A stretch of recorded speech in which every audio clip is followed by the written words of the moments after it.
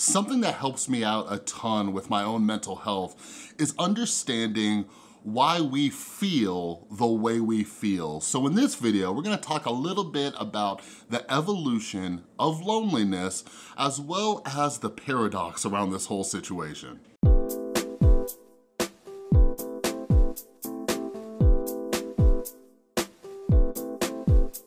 What is up everybody? This is Chris from The Rewired Soul where we talk about the problem but focus on the solution. And if you're new to my channel, my channel is all about mental health. So if you're someone like me who's just actively trying to improve your mental and emotional well-being, make sure you subscribe and ring that notification bell. And boy, have I missed you guys. I know like the last video I posted was like, I don't know, probably less than a week ago. But uh, yeah, I've been taking my own sort of uh, little mental health break. Um, I might do a video and open up about it. Um, but yeah, I've been spending a lot of time with my beautiful girlfriend, Tristan, um, talking with my son a lot. He's been uh, back with his mom this week, but he's about to come and stay for a week because of all this stuff going on. Uh, so we've been kind of switching off. But anyways, uh, I've been getting my stuff together, but yeah, I've been thinking a lot and reflecting on the channel and what I wanna do. I have a lot of really cool things planned and make sure you follow me on Instagram and Twitter because there's a lot of cool stuff coming. But anyways, today, for those of you who did not know and you need to know, today is the first day of Mental Health Awareness Month. And during this current global crisis, we need to focus on our mental health more than ever, right? And I thought this would be a good way to get back into the flow of content. Um, I don't even know why I'm saying this out loud, but I do wanna commit to making daily videos throughout this month to get back in the groove. And because it's Mental Health Awareness Month, I'm saying that out loud for accountability, but worst case scenario, I will 100% be putting out at least one piece of content per day so even if it's not a YouTube video, make sure you follow me on Instagram and Twitter. Um, I'm, I'm planning, I have this really cool thing I'm planning on doing on TikTok as well. Anyways, just follow me for updates if you need your daily dose of just mental health awareness and discussion, all right? Boy, that was a long intro, but yeah, we got some cool stuff to talk about today. So I am currently reading a brand new book that I'm so excited about. I'm loving it so much, I've been binging it. It's called Together by Dr. Vivek Murthy, all right? So some of you might be like, hmm, that sounds kind of familiar. Other of you are like, no, that doesn't sound familiar at all. Well, anyways, Dr. Vivek Murthy, he is the former Surgeon General, okay? He was a Surgeon General under Barack Obama. And I fell in love with this dude. I had a little man crush on this dude. And here's why.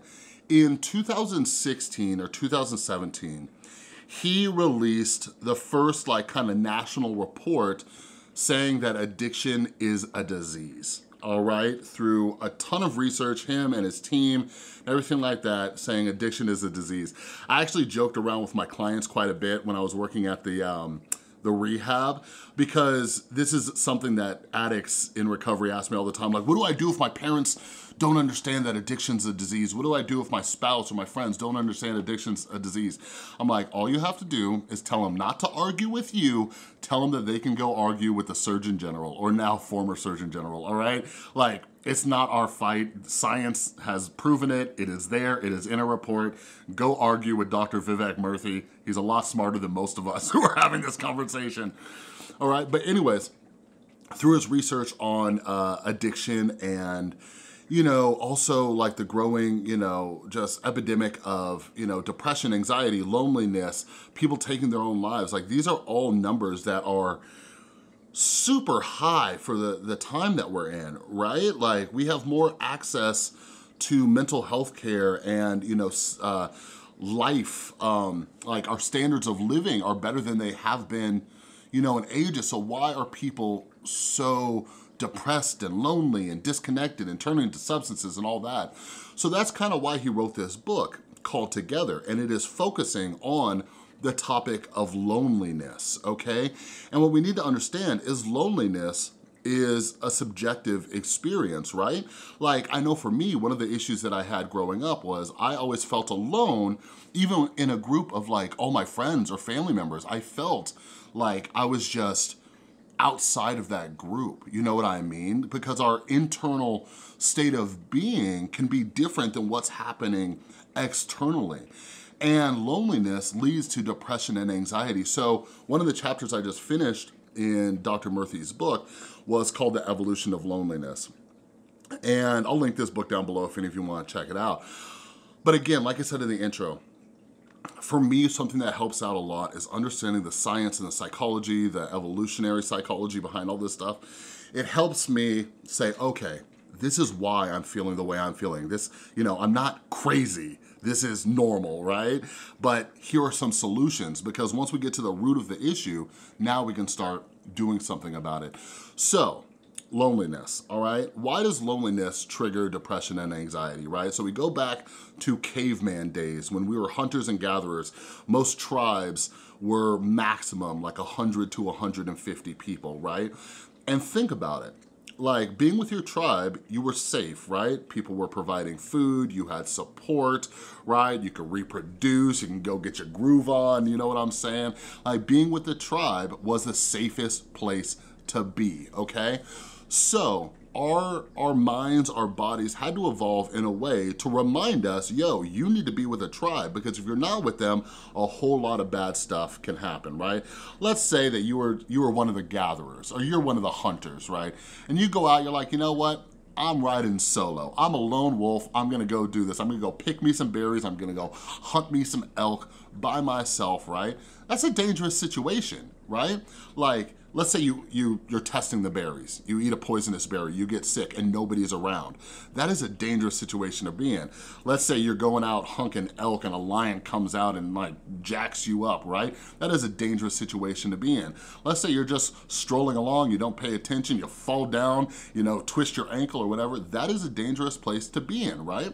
There's no cell phones, there's no way to communicate with the tribe. So our bodies had to evolve in a way that says, hey, when you are away from the tribe, this is not good. And this is why our brains started making us anxious and depressed when we were separated from the tribe, okay? That is the evolutionary reason why we feel lonely because that is the, the brain signal like, yo, you need to get back to the group, all right? So it's this signal that we need to start working on our connections, on our social connections. And right now, it's a very difficult time, but there are some solutions, okay? But here's the paradox. Here is evolution's nasty little joke on all of us. When you are feeling lonely, your threat detection skyrockets, right? Because you figure back in the day when you were by yourself, you had to be on alert. You had to be on this heightened alert, right? So when you're feeling lonely, even though you need to get back with the tribe and be, you know, more social and start building these connections, you're also more, uh, more paranoid. You're also more fearful of other people. Think about that. Think about how contradictory that is right? You need to start being around people, but you're also afraid to be around people. Like how many of us can relate to that? Like, I, I know from my experience, like on a on a rational, intellectual level, I could be like, okay, I need to strengthen my social connections. Maybe I should be a part of a group, or maybe I should do this, or I should talk to people more, right? But we're also terrified to do that, right? And then when you combine, you know, just past experiences, the way that our brain associates certain memories and experiences with negative feelings, right? Like if you grew up in a household where you were ignored or neglected or rejected quite often, this can turn into fears as, you know, a young adult or as an adult, and you're afraid to build those connections because of the pain that someone might inflict. Like in that book too, in Dr. Murthy's book, they discuss how they did brain scans and a physical slap, a physical slap in your face triggers the same centers of the brain as rejection, right? So we're afraid of this rejection. So to finish this, let's talk about the solution. It's baby steps, all right? Make little connections. Reach, reach out to people who you know, who are close to you, especially during this time. I try to make it a point to do one call, one text, one DM, or whatever it is with somebody in my life as a as a YouTuber, you know, I don't even like using the word influencer or whatever. I try to reach out to some of you. Um, some of you talk to me in DMs and you know, I'll try to reach out and just follow up and say, hey, how's it going? You know, whatever. So if any of you are following me on Instagram and DM or Instagram or Twitter, know that my DMs are open. You guys can reach out anytime. But also, it's important to reach out to others because you never know if somebody else might be feeling lonely. You don't know if that person might need to hear from you today, all right? Maybe you need to go and reach out your hand and bring them back to the tribe, all right? So I suggest making it a goal to reach out to one person a day, but that's me setting the bar very low. I think, I think that all of you can reach out to eh, three to five people a day. I, I believe in you. I think you could do that. All right, so let's build these social connections. Let's try to eradicate these feelings of loneliness and build these connections. All right, but anyways, make sure you follow me on Instagram and Twitter at The Rewired Soul. Mental Health Awareness Month. We're doing it big, baby. All right? But anyways, that's all I got for this video. If you like this video, please give it a thumbs up. If you're new, make sure you subscribe and ring that notification bell. And a huge, huge thank you to everybody who supports the channel over on Patreon, as well as everybody who supports the channel by buying my mental health books at therewiredsoul.com, as well as everybody who gets merch from the merch store, like this Rewired Soul shirt. All right, thanks again for watching. I'll see you next time.